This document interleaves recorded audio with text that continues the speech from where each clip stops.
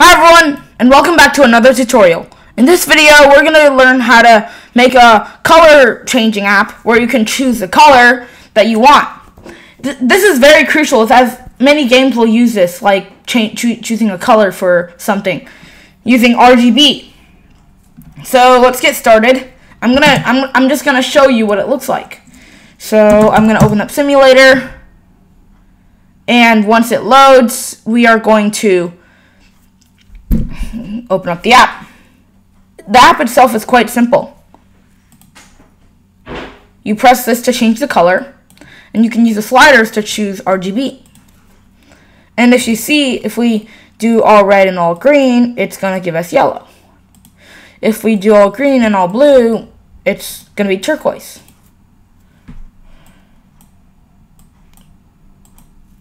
And then if we do all red and all blue, it's going to give us purple.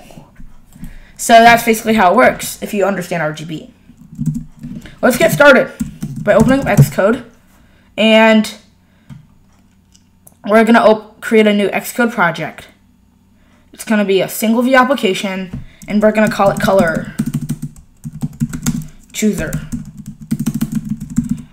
Notice I don't really use names really well.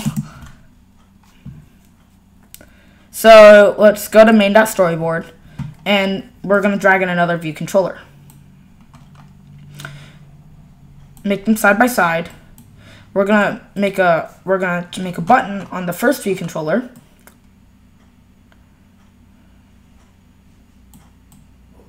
Make it in the middle and it's going to be change color. That way we have it there. Then we, we're going to have a view, just a normal view to display the color. You can't see it normally, but there we go. If we just select this area, we're going to select it. Then we're going to add in our missing constraints. Then we're going to go to this view controller. Now we're going to have a button at the bottom that says change color that will send us back to the first view controller.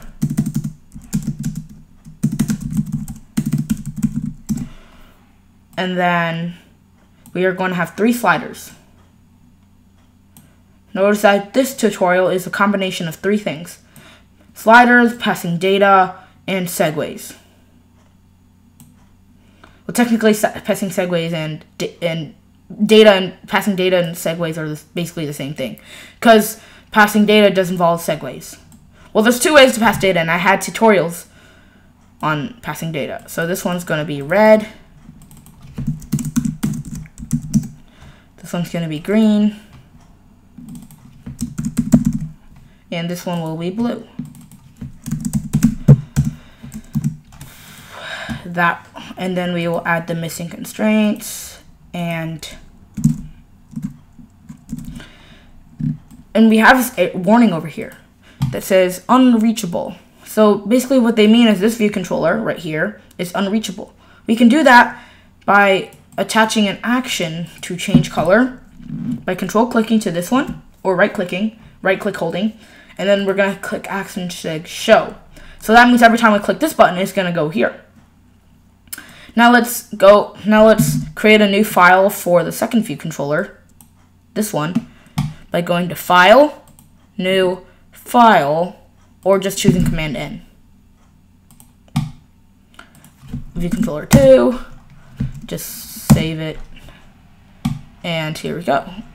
It, look, it looks like it's in the wrong spot, so we'll move it.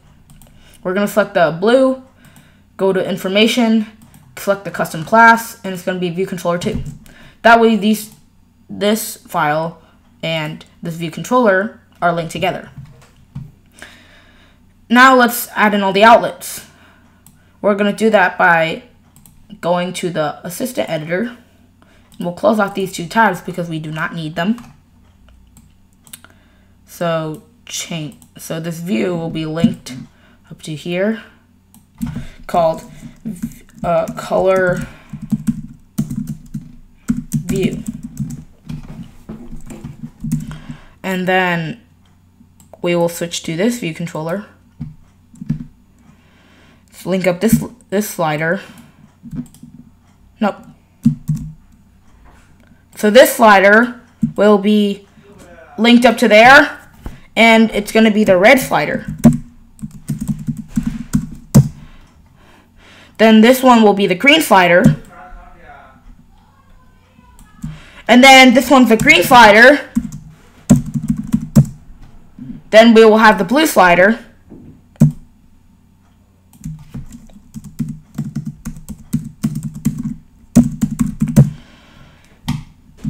And then change color will not have an outlet.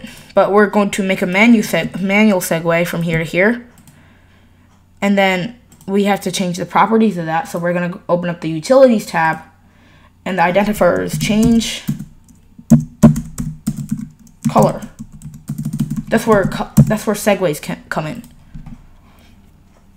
So let's go out of the assistant editor and go back to view controller and view controller 2. And here in view controller, we're going to define two variables, or three. The um, red val,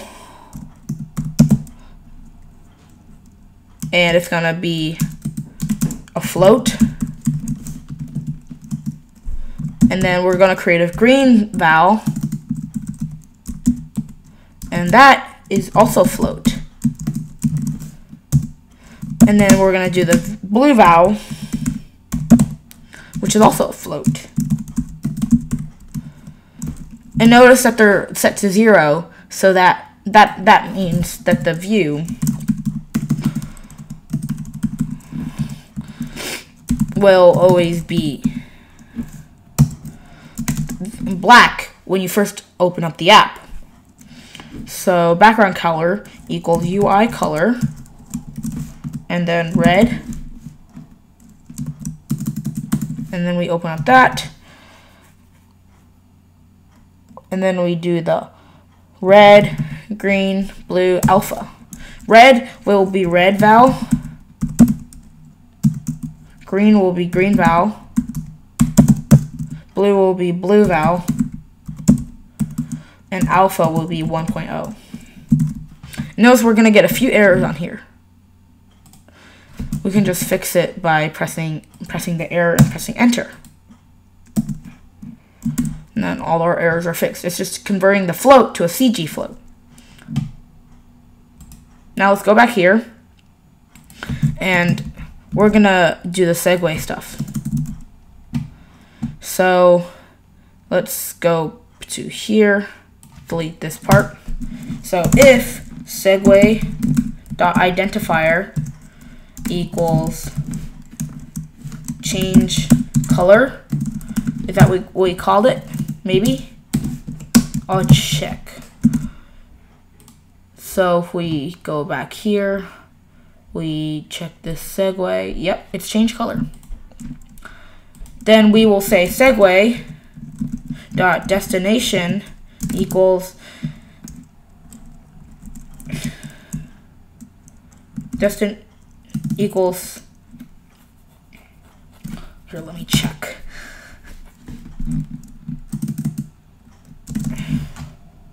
If we go back to this code, we'll see.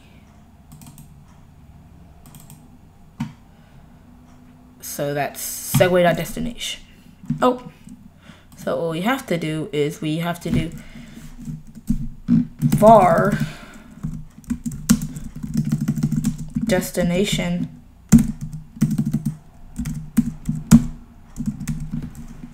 dot equals segue dot destination as view controller. Destination, which I spelled wrong, dot red val equals red val red slider dot value destination dot blue val equals blue val dot blue slider dot value destination dot red val, I mean green val equals green val green slider dot value. That way, whenever we do the segue, it's going to send the data. But how exactly will we execute the segue? What we can do is we're going to create an IB action.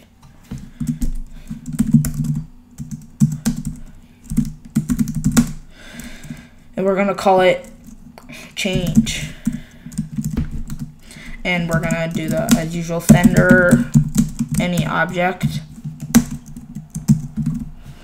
And then the next thing we'll do is we'll, we'll do self dot perform segue with identifier, which is change color and the sender is self. That way, it's going to execute the segue every time we execute that. And we're going to set change color to the action.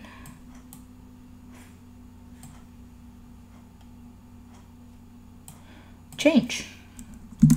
And now we have it. Let's just test it out. Wait, wait, yeah, we haven't, we have to check if everything is linked up. So we're going to select the view controller and we see that all actions have been connected and all outlets have been connected. Let's switch to this one, which only has one. So there we go. Let's test it out.